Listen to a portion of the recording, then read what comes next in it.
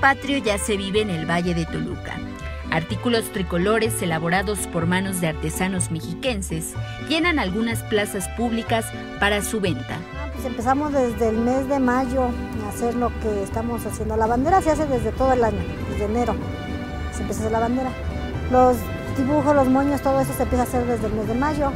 Aquí encuentra desde lo más típico, banderas, moños, bigotes, trenzas, aretes, rebozos y hasta trajes típicos que usaban los insurgentes. Tenemos, este, por ejemplo, este traje de charro, tenemos caporal, tenemos jaliscos, tenemos trajes de niños héroes, Miguel Hidalgo, de Josefa, tenemos así variedades. Peculiaridades entre piezas nuevas.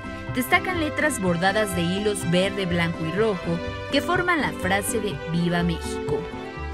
Mira, este es el vestido que le digo, este es el nuevo que sacamos.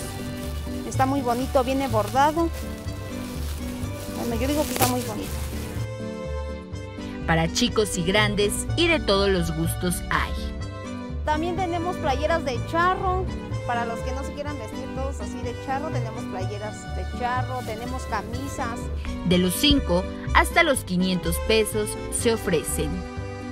Todo lo hacemos. Pues tenemos de los más baratos, o que son los distintivos, los este, las cornetitas, las pulseras, hasta el rebocito y la bandera, que sí ya es más caro, el rebozo y la bandera. En el 208 aniversario de la independencia de México, artesanos como Doña María y Araceli piden comprar lo hecho en el país y evitar lo extranjero. Sí, son de mucha calidad y aparte de que nosotros somos mexicanos y debemos de consumir lo mexicano, no lo que viene de fuera. Yo les recomiendo que compren y consumamos lo, lo mexicano que es de nosotros y que nosotros lo hacemos. La gente se va por la economía, por ejemplo, 10 pesos, 5 pesos, la gente este, prefiere comprar chino que, bueno, hecho en México, ¿no? Así, por manos artesanos. Del 8 al 14 de septiembre, esperan sea la mejor venta con la diversidad de artículos que habrán de lucir en las fiestas patrias. Con imágenes de Daniel Hernández, Aleli Rodríguez, Antena 125.